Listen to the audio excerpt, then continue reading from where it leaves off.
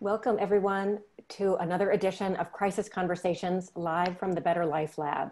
This is our 22nd uh, uh, weekly live interactive conversation where we've come together to try to understand the pandemic, the economic downturn, the racial justice reckoning that's all happening all at once, uh, trying to understand what's happening, uh, really explore the cracks in our system that it's exposing and get some great stories and experts to come together to help us really think about how can we, what are the lessons that we're learning for, so that we can emerge better. I want to let everyone know that we're going to be taking a break after this uh, episode today. We'll be coming back in, in October and we'll be looking at the issue of care, paid and unpaid care, and how it's shaping the 2020 election. So we hope that you'll join us again. But today, I'm very excited to welcome this, uh, uh, this amazing panel together. Today, we're going to be talking about women, diversity, and leadership. Uh, you know, here we are at a, at a really pivotal, historic moment where we have the first woman of color to lead a, for national office, to lead a major, on a, um, uh, national office at a major party uh, ticket. Um, uh, and yet at the same time, when you look at statistics all across the board in every sector, in every organization, from academia to politics to um, corporate culture, you know, here we have women who've graduated from college in greater numbers than men for decades. And yet we have a real dearth of women in leadership positions and even a greater dearth when we look at women of color. So today we're going to look at, at that, but we're going to explore not only why, what, you know, how the pandemic is and the, the, this racial justice reckoning is shaping that, but really look at what can we do moving forward.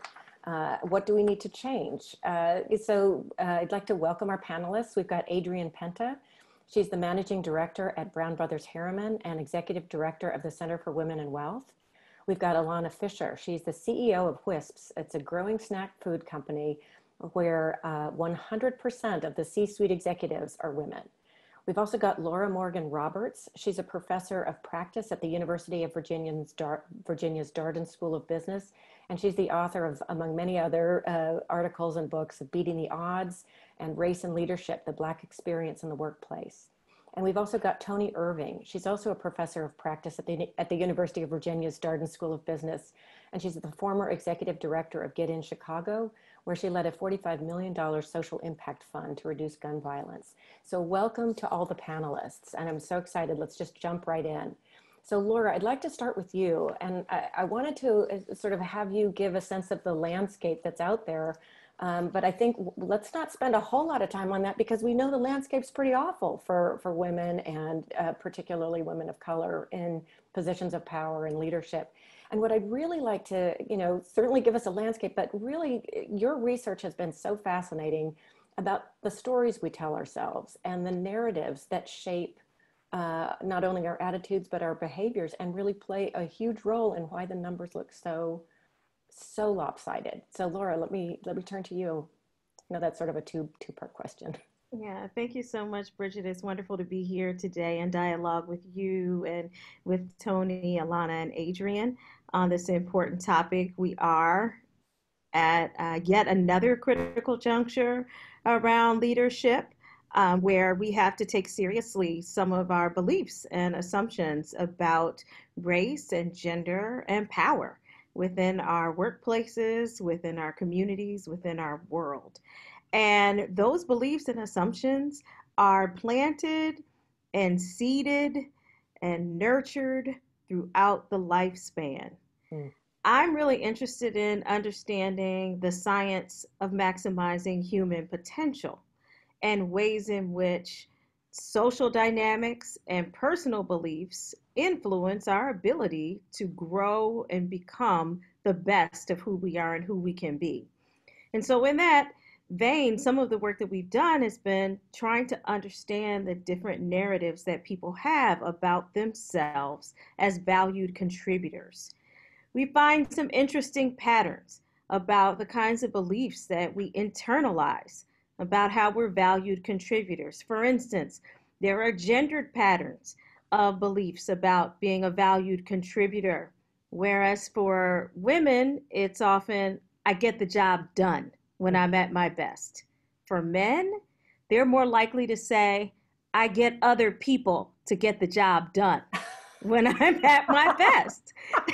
it's an interesting dynamic around, you know, being the person who persists and beats the odds mm. as the um, as the leader versus seeing oneself as the mobilizer who's mm. like in charge of things and getting other people to execute.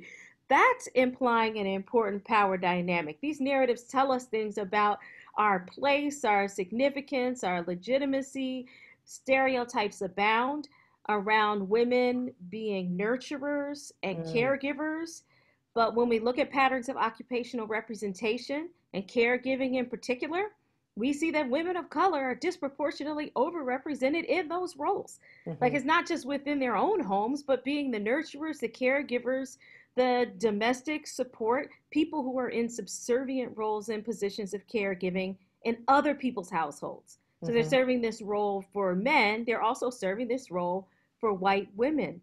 So, how does this translate to diversity and gender and leadership in the organizations that we study and that we, we teach, right? You've got these dynamics in your communities, in your homes, what's playing out in the workplace.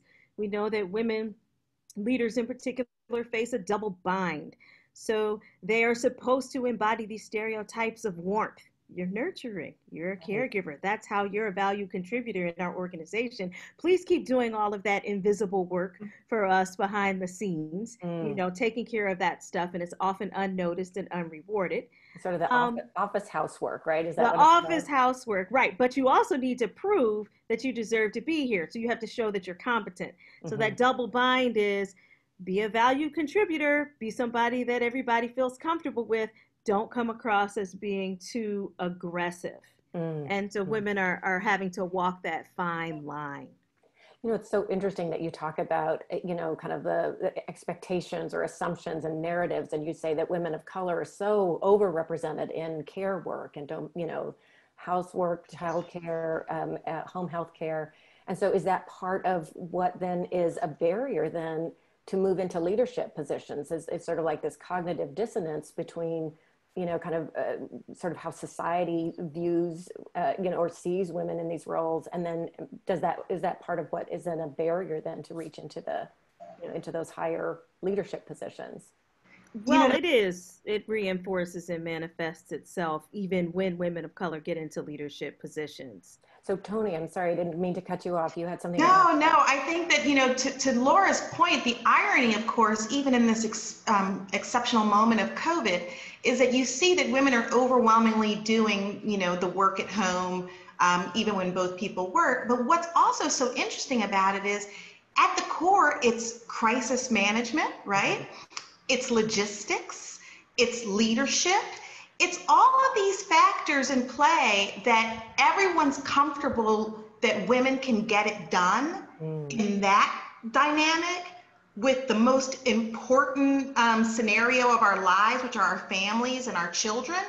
And why doesn't that then translate to the moment in the office? Because mm. it's been demonstrated and people are deferring to that leadership and expertise. And so I don't think that there is any issue around whether or not women are capable. Mm-hmm. So how is that, Toni? How has that played out in your own journey? You know, let's you know, with your own kind of um, navigation of what uh, you know barriers and stereotypes to get you into positions of leadership. You know, I think that um, it becomes so important to just be in front of people, right? Because there, we know that all of these sort of notions about what women are positioned to do or capable of doing are projected on us, and it's not until you can get into a space. And so, I will say that um, women who are amazing at networking and relationship building, that has been something that's been very meaningful for me. That being able to talk to a range of people, let them know what my needs are so that when something and an opportunity pops up, that they can flag that for me. And mm-hmm. I would mm-hmm. say that, you know, women probably have a more of a tendency to not leverage our relationships. We build them, but do we make use of them? Mm. And so making the ask, I think, is crucial. We see these asks happening all around us.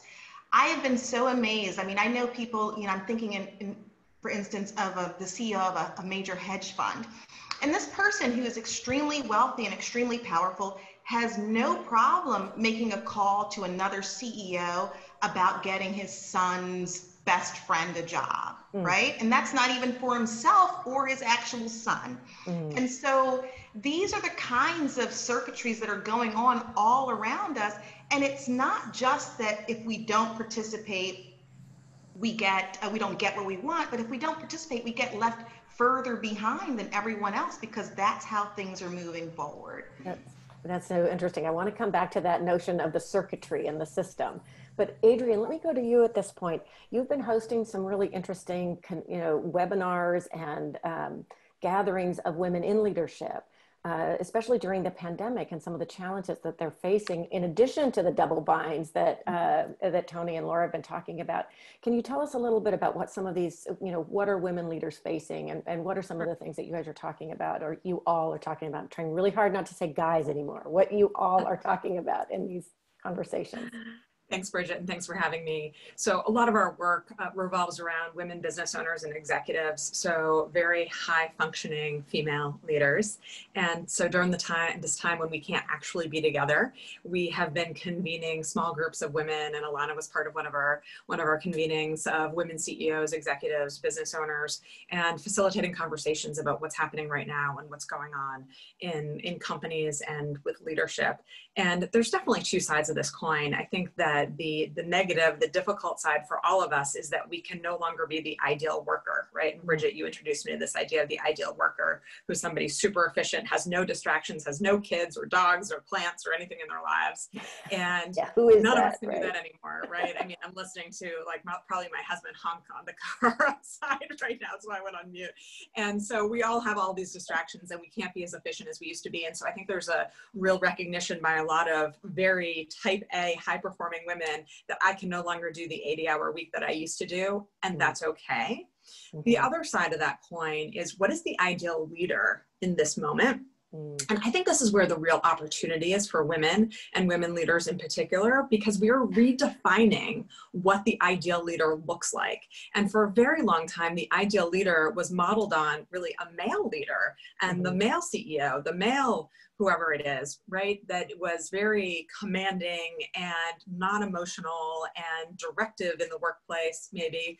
Um, and there's, you know, there's there's female leadership characteristics and male leadership characteristics, and there's been a lot of research done on that. And I think what we're seeing now is that leaders who can embrace those empathetic, emotional, leadership characteristics are really leading their workforces in their countries through this incredible moment of change, which is both um, around, you know, racial justice and very emotional conversations that we're having in the workplace like never before. I've been involved in more conversations at work where I've been emotional or cried in the last six months than ever in my career. Mm. And then, you know, as we work from home and we endeavor to um, you know, be good workers, we're bringing this incredibly authentic understanding of who we are into the workplace. And I've had kids come in here screaming and crying and dogs barking, and all of us have.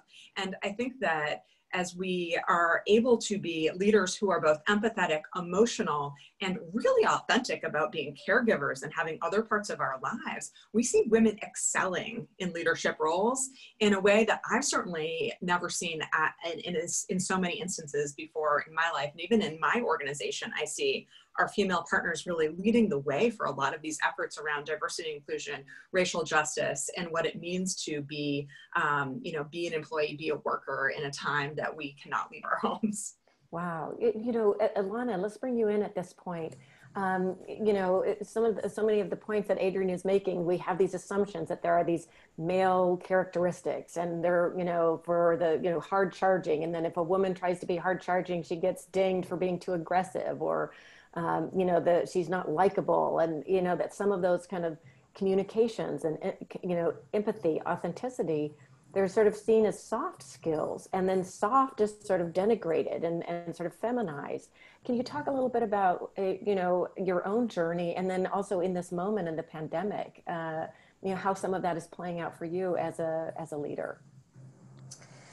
You know, I, th- I mean, I think that's right. I think about, we think about being female leaders all the time is being a like conflict between being caring people and being tough leaders and i just feel like that's a little bit of a, a false dichotomy you can be caring and tough at the same time and i think you know, those of us that are, are moms and dads know that. I mean, that's what parenting is, and that's what a lot of our relationships are. And so, um, you know, I think what for me really changed was when when COVID hit was that um, you know I I run a, a, a wonderful team at a fast growing company. There was a lot of excitement and just positivity around the company. And then COVID hit. We were in Manhattan. Our offices are in Manhattan.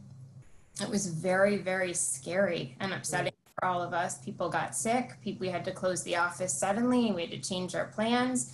We make food, and at that point, we weren't sure if you know what what the how COVID was transmitting and whether food was a, a potential way to get COVID. And so there was just there was there was just a lot of angst. And I think we've all to some extent either been people or worked with people who have had personal issues pop up in their lives that have distracted them from work. And you can sort of manage that on a team by saying hey i'll cover for you. You know take a little bit of time. Take take take the week off. Take fridays off whatever when suddenly that's your whole entire company and not only is that is it incredibly stressful and scary but work itself is suddenly really uncertain and everybody's really afraid about you know about the economy. It just felt suddenly like we did I, I needed to do both of those things be very very compassionate and be lead with care and, and protecting the team.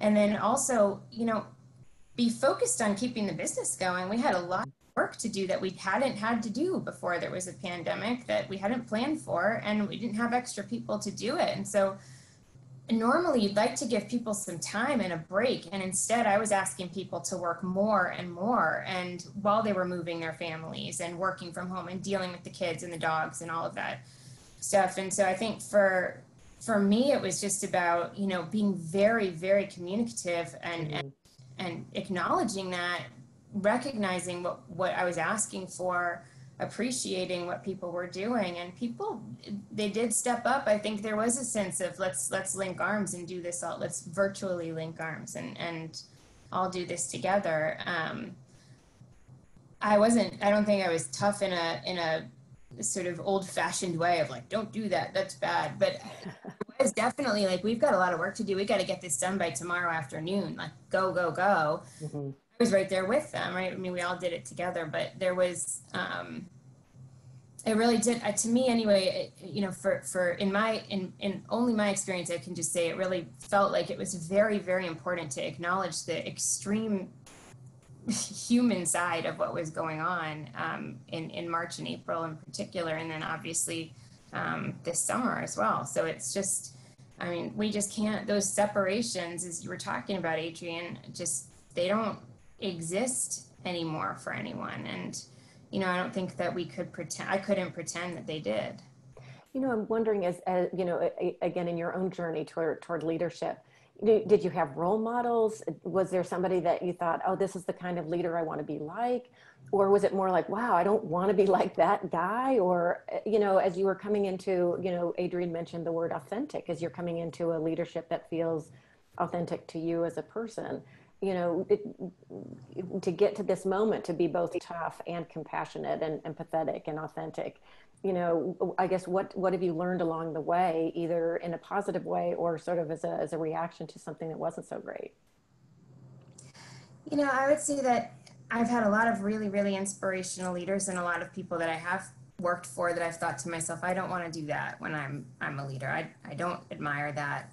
Um, and I think one of the things that we were talking, somebody mentioned earlier, Toni, I think it was you, said, you know, somebody not shy to call and ask for their son's best friend to get an internship. I, we've seen that, right? And the, the problem with that is one, only certain people have the power to make those calls and have people answer them, right? And so it reinforces and just sort of and recreates this very, very exclusive wheel of, of of power.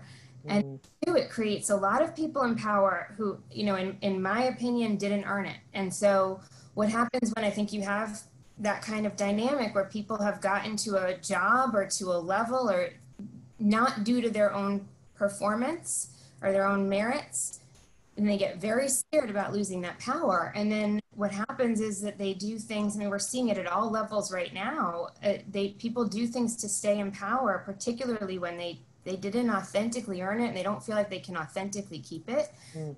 they they cheat they use violence they you know they will people will be um, very very cruel and unfair about retaining that power and so i think it's really important you know for us as as women noticing this and and something that I mean, I've seen both sides. I've seen people in power who do, who use it wonderfully and wield it wonderfully. We all have, and people who don't. And I've worked for both of those people. Uh, and I think you know our job is to get to get that power, to earn it, to feel confident in it, so we're not threatened by it, and then we can share it responsibly, acknowledge it, and reward it, reward great performance to other people, and, and give it away. You know, it's not. I don't feel threatened in my role because I feel like I earned it here, and so I'm happy to give other people I, I think I am. You know, I'm happy to give other people power. Toni, I saw you yeah, you know. I think it's such a great point, and I would say that we need to um, acknowledge the power that we have in any given moment. And so I'll give an example that for me, when I first moved to Chicago and, and knew next to no one, I was on the faculty at Notre Dame, and I had this asset that I didn't realize that was such a big deal, and that was season tickets to Notre Dame football. And so, um, you know, so one of the things that I did early on is that I offered people, because I couldn't go to every game, I offered people that I knew, you know, my tickets, which were on the 50 yard line. And eventually that sort of was a return on investment where I will tell you that one of the people who couldn't even take the tickets then invited me to a very small fundraising event where I met the new governor of the state of Illinois, um, which led to him offering me this job as deputy chief of staff. And so, you know, I think about those kinds of relationships that we're building and that we can make use of and leverage. But then I would say that on the flip side, to your point, um, Alana, about whether or not you earn it, I think we have to do a lot of telegraphing because women also very frequently earn their leadership stripes um, through what we call the glass cliff, right? It's that you get this great opportunity to lead, but that it's full of all sorts of pitfalls. One of my mm. favorite examples, a phenomenal female leader, is Deb Cafaro, the CEO of Ventas. And when she was offered that CEO role in 1999, Ventas had one customer on the brink of bankruptcy. They had um, a fraud investigation for Medicare. They were leveraged in loans. It was a hot mess. And she, you know, of course, was then presented with this, you know, opportunity, but she seized it and she turned it around and now it's like valued at you know 34 billion dollars but i think that that's that's a tricky scenario i'm not necessarily advocating for it but i do think that when we are placed in those problematic scenarios you have to telegraph that yes, I'm here and this is what we're up against. And you can't say it enough. When I mm. came into my last role, I mean, reducing violence in the city of Chicago, imagine that is something that you get done in any sort of short period of time. You just have to keep telegraphing what the situation is and what you're up against so that you're not set up for false expectations and to be framed outside of what your performance really is. You know, at this point, Laura, I want to bring you back in. You know, you've written, you recently wrote a piece uh, for Bloomberg, and I would suggest anybody um, uh, read it. It's a move beyond the business case for diversity. And you talk about the moral argument. Um, and one of the things when we were talking earlier that really struck me and what we were saying, you know, to Toni's point, when we talk about some women leaders, they're unicorns. They're like super duper exceptional. And how many women's leadership conferences have we gone to where somebody gets on stage and they're so unbelievable? It's like they've got a halo and they float on cloud nine. And you think, wow, how, how could I ever do that? So we've kind of got this narrative that you have to be super exceptional to be a woman, and particularly a woman of color to lead. You know, we talk about, well, we need to fix women. You got to be more like that super unicorn uh, yeah, and and one of the things that you that you said that so struck me is like we never talk about fixing the system and how it benefits by keeping women and people of color where they are. So can you talk about that flip, you know, sort of like how we the sort of the moral argument and how we need to begin to reframe how we even think about leadership? Yeah, there are a number of different ways that um, we call into question the, the business case for diversity and inclusion right now. Um, and they, they're really coming to a peak in 2020 2020. Um, you know, I think about what Alana was saying in terms of everybody linking arms and just doing what felt like the right thing to do to be in support of one another because everyone experienced the crisis that was facing all of us. Well, look at us several months later um, people are not extending that same level of grace to one another at this point, even though kids are going back to school and the vast majority of them are not physically out of their homes for the majority of the time. So yeah. we're reworking home and work life tremendously, but we don't have that same level of compassion and grace and moral concern dominating our decisions about work and equity and what we think is a justifiable or fair level of commitment and engagement right now.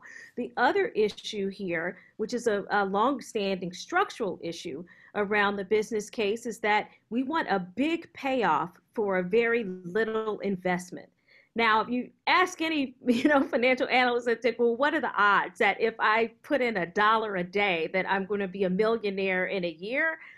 Little slim to none, right? But this is how we treat our diversity, equity, and inclusion initiatives. We think we put a drop in the bucket, and then our standards and our expectations or our criteria for success are so high that it's hard over time, you know, year over year to justify the minimal cost that we're putting in. So, mm. You you're looking to see a growth in critical mass but you're not really taking the time effort and energy to invest in it. Why aren't we investing in it more heavily brigid? Because the status quo continues to benefit those who are already in power. Mm. and they don't have the instrumental motivation to do something different in changing that structure and that system. It's only the moral argument that brings out the questions around compassion equity, and grace that would motivate people to transform a system that is, in fact, working to keep them and their children and their kids' best friends' kids in, power. Yeah, you know, and it's so interesting that that that system uh, maintains so much power when there's so much research Adrienne, you know you mentioned some of the research that has been done over and over and over again proving the benefits of equity and diversity, uh, particularly in leadership roles, from the economic case, the business case, competitive advantage, productivity, you know, over and over again, and that we don't seem to listen to it.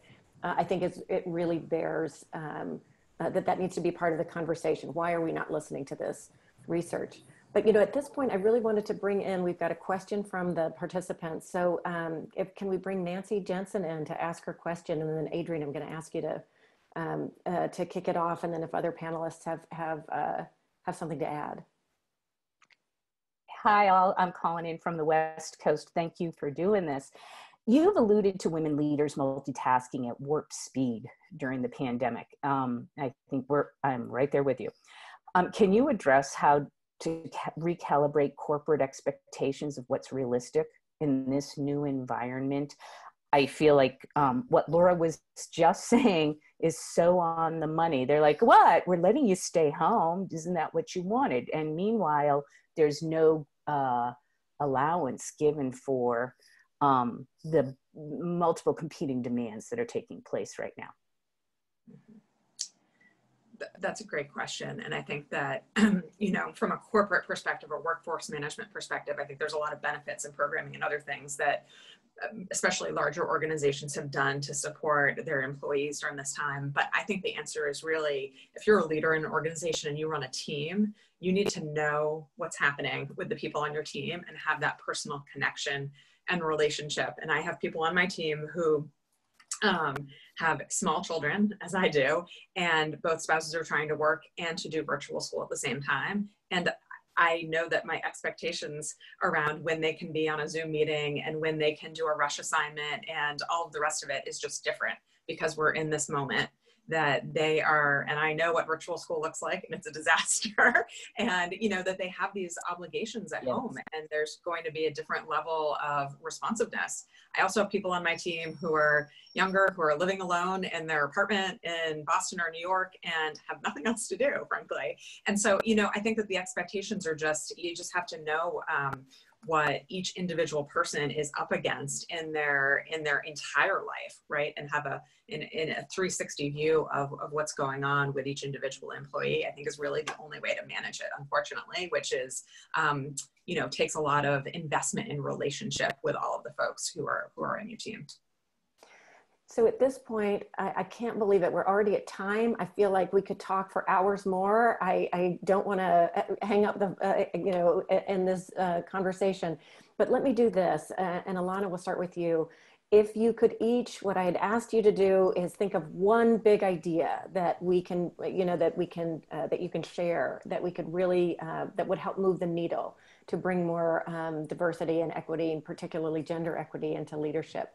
I know that's a big ask, but if you could keep it really short, Alana, I'd love to start with you. Um, what what's one thing that, that people should be thinking about and doing?